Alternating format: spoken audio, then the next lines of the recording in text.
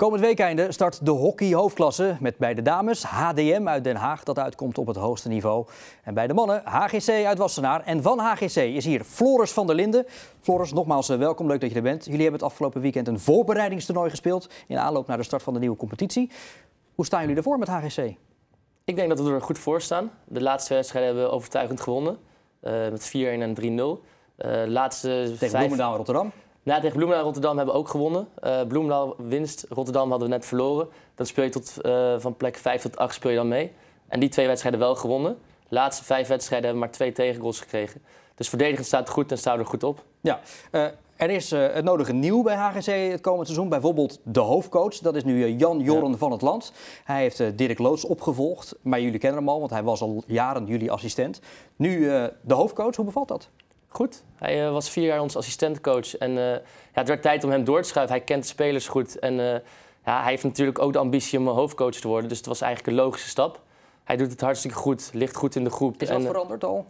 Nou ja, we trainen één keer meer dan vorig jaar. Dus dat is sowieso al een verandering. We trainen op donderdag overdag. Dat betekent dat je gewoon echt meer rust hebt om echt te gaan trainen. Vaak als je s'avonds na werk, na een hele drukke dag moet trainen, is het toch anders.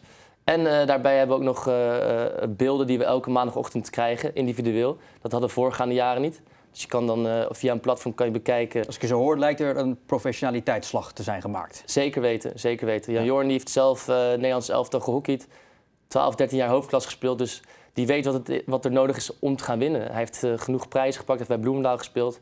Dus we zijn toch bezig met de volgende uh, verbeteringsslag. Ja, hij heeft ook andere plannen met jou, want jij bent nu laatste man bij HGC. Ja, hij heeft andere plannen met mij. Uh, vorig jaar hadden we daar Bosco staan, die is vertrokken. En uh, daar is nog wel een gat dat opgevuld moet worden. En we hebben een paar wedstrijden getest en dat beviel ons eigenlijk best wel goed. Hm. Dus de organisatie achterin, die ga ik leiden. En ehm, ja, op dit moment voelt het heel goed. Ja. Wat mij bijstaat, de Floris, van het vorige seizoen, dat jullie echt geweldig starten. Ik meen dat jullie in september, oktober nauwelijks een wedstrijd ja. hebben verloren. Maar daarna kwam er een beetje de klad in, met name na de winterstop. En toen was het maar de vraag, halen jullie die play-offs wel? Ja. En die hebben jullie uiteindelijk niet gehaald. Hoe kan het dat het zo goed startte en zo minder eindigde? Ja, nou, we begonnen de eerste wedstrijden, de eerste wedstrijd tegen de niet-toppers, om maar zo even te noemen. Uh, toen hadden we 16 punten van de 18 gehaald. En als het goed gaat, ja, dan heb je eigenlijk, uh, ben je eigenlijk minder kritisch op jezelf dan dat je zou moeten blijven. En daarna kregen we een, hele, uh, een heel moeilijk rijtje met uh, topwedstrijden. En daar kwamen we net tekort. Zeker omdat we in het begin eigenlijk niet goed stonden te hoekje, maar wel de punten binnensleepten. Was dat wel voor ons een, een moment van, van, ja, het gaat goed, maar ook weer niet. Dus die vijf wedstrijden na kwamen gewoon tekort. En heb jij nu het gevoel door die professionalisering die er plaats heeft gevonden bij HGC... dat je dat niet een tweede keer overkomt? Dat je meer mee kan met die topploegen in Nederland? Um, kijk, we beginnen de eerste vier wedstrijden, hebben we drie toppers al. Dus dan weten we wel meteen waar we staan. Je begint met SCAC uit. Precies, en daarna heb je nog uh, Kampong, Rotterdam en Amsterdam. En, ja, en dan weet je meteen waar je staat. En door deze professionele verschuiving kunnen we ons wel meteen meten met de rest. En dat geeft wel een ander gevoel dan als je zes wedstrijden speelt, 16 punten haalt. Dus we weten wel meteen waar we staan en kunnen daar meteen op inspelen. Is uh, Gonzalo Payat, jullie uh, Argentijnse ster, ook weer het komend seizoen de ster van HGC, denk je? Waarschijnlijk wel. Hij heeft in de voorbereiding al aardig wat goals ge gemaakt. Uh, het is hartstikke fijn dat we hem uh, kunnen hebben behouden, want zij zitten ook in een uh, pre-Olympisch jaar. En hij wilde ook gewoon bij ons blijven en hij staat als een fenomeen te pushen. Ja. Dus ik verwacht wel dat hij 20 plus goals gaat maken. Strafcorner specialist. Ja. Dus die Gonzalo Payat uit Argentinië. Goed, dat wat betreft HGC. We gaan het trouwens bij Omroep West ook volop volgen het komend seizoen. We zijn niet voor niets de hockeysender van Nederland. Dus dat blijven we vooral ook het komend jaar. Dan naar het Nederlands team. Uh, natuurlijk nog vers in het geheugen het uh, Europees kampioenschap. Dat is gewonnen in Londen onder Max Caldas. Geweldige prestatie. Alleen jij was daar niet bij. Doet dat pijn? Dat heeft in het begin even pijn gedaan. Maar uh, je moet toch ook naar het grote plaatje kijken. En dat is Rio. Het is goud in Rio. En het eerste wat ik deed was, ja, was meteen Max bellen. Waar kunnen we gaan, waar kunnen we gaan verbeteren? Want dat is eigenlijk het enige wat je moet doen. Want even voor de duidelijkheid, het WK vorig jaar inderdaad was ja. jij er wel gewoon bij. Ja. We hebben beeld van je nu dat je te Wilhelmus meezingt vlak voor de wedstrijd tegen Nieuw-Zeeland. Uh, dus je bent international. Alleen uh, dan voor zo'n Europees kampioenschap, dan mag je niet mee. Nee, ja, kijk, het, het, het zit zo. Je hebt een groep van 24 tot 28 spelers die meetrainen. Uh, daarvan gaan er altijd 18 naar een toernooi.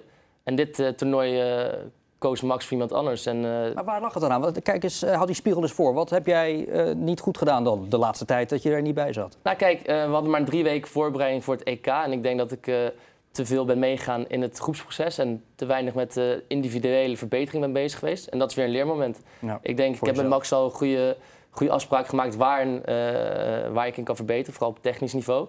En dat is iets tussen ons. En ik denk dat ik daar nog bewuster mee kan bezig zijn. Rio is dus voor jou het belangrijkste doel het komend jaar? Het belangrijkste doel. En uh, hoe ik er kom, dat maakt me dan uiteindelijk niet heel veel uit. Tuurlijk wil je elk toernooi spelen. Maar uh, het gaat mij vooral ook om het proces daarheen. En uh, zo'n EK niet spelen doet pijn. Het is een teleurstelling. Maar ik geloof ook wel in dat je er sterk van wordt. Is het realistisch om te denken dat we daar volgend jaar in Brazilië... met een gouden medaille van het veld stappen, jullie hockeyheren? Nou, dat, dat, is zeker realistisch. Ik kijk nu naar het EK eigenlijk soeverein goud gepakt. 6-1 van de Duitsers gewonnen. We hadden op het vorige toernooi eigenlijk al... Uh, we hadden 2 van de Duitsers verloren, maar een hele goede wedstrijd uh, neergezet. Dus we komen echt wel dicht bij die top. Uh, we hebben nog een voorbereidingstoernooi in India, dat, met de top 8 landen van de wereld. Kijk, en dan moet je gaan meten met Australië. Zij doen ook mee, die zie je eigenlijk niet heel veel. dus dat wordt wel weer een interessante meting. Ik wil het zeggen, want de laatste meting met Australië, die was hier in Den Haag. Ja. Dat was nou geen meting. Dat zag je van heinde verre wat daar het verschil tussen was. Ja, nee, dat was een, echt een, totaal machtsverschil. Daar gingen we 6-1 in de finale. 6-1 in de finale. En uh, ja, die, uh, daar waren ze gewoon een stuk beter. Maar goed, we zijn ook weer een jaar verder. Uh, nieuwe bondscoach, nieuw traject, nieuwe dynamiek. Ja. Nou, wij gunnen jou als echte HGC natuurlijk die Olympische Spelen volgend jaar in Brazilië. Ga daar je best voor doen. Maar ook met de club. Komende zondag dus de eerste wedstrijd van het nieuwe seizoen. Veel succes daarbij. Floris van der Linden, dank voor je komst.